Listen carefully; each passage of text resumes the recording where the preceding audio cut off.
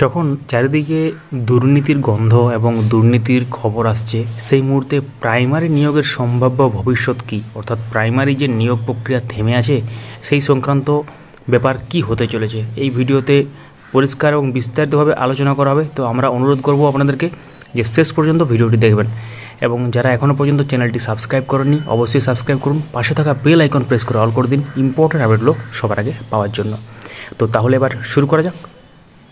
এই ভিডিওর যে আলোচ্য বিষয় হতে চলেছে সেগুলো হচ্ছে প্রাইমারি নতুন নিয়োগের কী হবে, টেট দু হাজার চোদ্দ বাকি নিয়োগের কী অবস্থা, টেট দু হাজার সতেরো যারা পাস করেছে তাদের ইন্টারভিউর কী অবস্থা প্রশ্নবুল মামলা এবং অন্যান্য ব্যাপার, এবং ঘুরে ফিরে সব কিছু ব্যাপারগুলো সম্পর্কে যে ব্যাপার হতে চলেছে, অর্থাৎ প্রাইমারি নিয়োগের সম্ভাব্য ভবিষ্যৎ কী সেটা সম্পর্কে বিস্তারিতভাবে আলোচনা করাবে তো দেখতে থাকুন। তো সবার প্রথম আমরা যে ব্যাপারে যাব সেটা হচ্ছে টেট দু হাজার চোদ্দ ক্যান্ডিডেট যারা বাকি আছেন নিয়োগ প্রক্রিয়াতে যারা অংশগ্রহণ করতে পারেননি, অর্থাৎ নট ইনক্লুডেড ক্যান্ডিডেট তাদের ব্যাপারে। তো আপনারা জানেন যে আরটিআই করে বিভিন্ন ডিপিএসসিতে দেখা হয়েছিল এবং সেক্ষেত্রে ষোলো হাজার পাঁচশো নিয়োগ প্রক্রিয়ার মধ্যে যে শূন্যপদ আছে, সেই শূন্যপদে মোটামুটি প্রায় ছ হাজার মতো শূন্যপদ এখনও পর্যন্ত আছে সেটা আরটিআই করে দেখা গেছে। সেই সংক্রান্ত একটি মামলা চলছে এবং সেই মামলাটি সম্ভবত আগামী থার্ড আগস্ট আদালতে উঠতে চলেছে।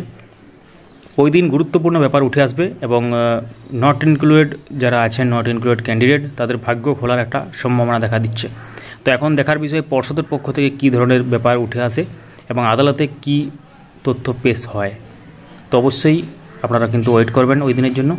সব কিছু ঠিকঠাক থাকলে ওই দিন কিন্তু মামলাটি আদালতে উঠবে এবং ফাইনাল জাজমেন্টের একটি সম্ভাবনা আছে। তো টেট দু হাজার সতেরো পাস যারা ক্যান্ডিডেট অর্থাৎ ন হাজার আটশো সামথিং ক্যান্ডিডেট যারা পাস করেছেন, তাদের একটাই প্রশ্ন যে তাদের নিয়োগ প্রক্রিয়া কবে শুরু হবে? অর্থাৎ ইন্টারভিউ প্রক্রিয়া কবে শুরু হবে? কিন্তু তার মধ্যে একটি ব্যাপার উঠে আসছে টেট সার্টিফিকেট দেওয়া নেই। বোর্ডের অফিসিয়াল ওয়েবসাইটে আপনারা জানেন, কিছুদিন আগে একটা অনলাইন অ্যাপ্লিকেশান করতে হয়েছিল, যারা টেট পাস সার্টিফিকেট যারা নিতে চান তাদের জন্য। এবং সেটা একটা নির্দিষ্ট ব্যাচ পর্যন্ত সেটা দেওয়া হয়েছে। পরবর্তী যারা ব্যাচ অর্থাৎ ডিএল কিংবা বিএড করছেন, তাদের জন্য পরবর্তী ক্ষেত্রে আপডেট আসবে। তো সেই টেট পাস সার্টিফিকেট দেওয়া হবে বলে একটি অনলাইন পোর্টাল খোলা হয়েছিল। সেটার অর্থ একটাই যে আগামী দিনে যে রিক্রুটমেন্ট প্রসেস শুরু হবে কিংবা ইন্টারভিউ প্রক্রিয়া হবে, তো সেই ইন্টারভিউ প্রক্রিয়াতে টেট পাস এবং ট্রেন ক্যান্ডিডেট যাতে সুযোগ পান, সে সেটার জন্য এটাকে করা হয়েছিল। তো এখন দু হাজার সতেরো ক্যান্ডিডেট যারা আছেন তারা বলছেন তাদের কোনো কেস নেই, তাদেরকে নিয়োগ করে দেওয়া হোক। কিন্তু এরই মধ্যে একটি নতুন ব্যাপার চলে এসেছে যেটা আপনারা, আমাদের ভিডিও যারা প্রতিনিয়ত দেখেন তারা জানেন যে দু হাজার সতেরোর প্রশ্ন ভুল মামলা, প্রায় ছটি প্রশ্ন ভুল এই সংক্রান্ত কেসের ব্যাপার। প্রতিদিনের লিস্টেড হচ্ছে হাইকোর্টে, আজকেও হয়তো লিস্টেড আছে। অর্থাৎ আপনারা জানেন যেদিন কেসটা লিস্টেড থাকে, সেদিন যদি না হয় অটোমেটিক্যালি পরের দিন চলে যায়। তো তাহলে ব্যাপারটা হচ্ছে এটাই। এবং সেই Raju Gazi versus the state of West Bengal others যে কেসটা যেটা আপনারা অলরেডি দেখেছেন আমাদের চ্যানেল থেকে। তো সেই কেসটা হচ্ছে প্রাইমারি দু হাজার সতেরো প্রশ্ন এবং এর সাথে আবার অনেক আরও হয়তো কেস আছে, সে সঙ্গে ট্যাগ করা হবে পরে। তো ব্যাপারটা হচ্ছে এটাই এবং সেক্ষেত্রে এটাও কিন্তু কেসের মধ্যে ঢুকে গেলো। কিন্তু এখন ব্যাপার হচ্ছে, এটা, এটার ভিত্তি কতটুকু? অর্থাৎ যে প্রশ্নগুলো পিটিশনাররা মনে করছে কিংবা ক্যান্ডিডেটরা মনে করছে ভুল, অর্থাৎ প্রশ্ন ভুল উত্তর দিয়েছে সেটা সত্যি যদি ভুল হয় তো সেক্ষেত্রে একটা অন্য ব্যাপার উঠে আসবে এবং তাদেরকে নম্বর দেওয়ার একটা ব্যাপার চলে আসবে। কিন্তু যদি এখন আদালতে ব্যাপারটা উঠে আসবে কি হতে চলেছে, ফাইনাল জাজমেন্ট হলেই ব্যাপারটা বোঝা যাবে। তো এটা ডেলি কিন্তু উঠছে মানে লিস্টেড হচ্ছে, কিন্তু ডেলি আদালতে কিন্তু এটাকে মানে সেই সময় পর্যন্ত যাচ্ছে না, কিংবা কোনো কারণে সেটার পর্যন্ত কোনো শুনানি কিংবা কিছু উঠে আসছে না। তো উল্লেখযোগ্য ব্যাপার হলে আমরা যখন জানতে পারব, অবশ্যই আপনার সাথে শেয়ার করব।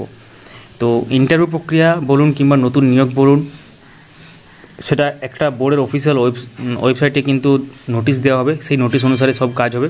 সেখানে ভ্যাকেন্সি উল্লেখ করার কথা থাকবে।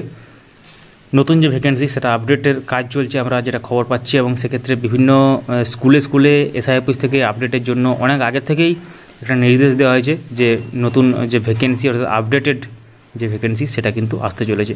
তো এটা চাকরি প্রার্থীদের জন্য খুবই ভালো খবর। তো প্রশ্নভুল মামলা সংক্রান্ত যে ব্যাপার এবং অন্যান্য যে মামলাগুলো আছে এবং তার সাথে যে আরেকটি বড় ব্যাপার MAT one five nine four MAT পনেরোশো চুরানব্বই আপনারা জানেন যে এটা এখনও পর্যন্ত ফাইনাল জাজমেন্ট কিছু উঠে আসেনি। তো এটা উপরেই কিন্তু সমস্ত প্রশ্ন মামলা নির্ভর করছে বিশেষত দু হাজার চোদ্দ সালের যে প্রশ্নভুল মামলা থেকে সাতশো আটত্রিশ যে নিয়োগ হয়েছে সেটাও কিন্তু এটার মধ্যে পড়ছে। অর্থাৎ প্রশ্নবুল মামলার যে ভবিষ্যৎ প্রশ্নমূল মামলার যে রায় ফাইনাল জাজমেন্ট সেটা কিন্তু ম্যাট পনেরোশো চুরানব্বই ফাইনালভাবে নির্ধারণ করবে। তো এটার জন্য আপনারা চিন্তা করবেন না, আপনারা ঠিক জানতে পেরে যাবেন।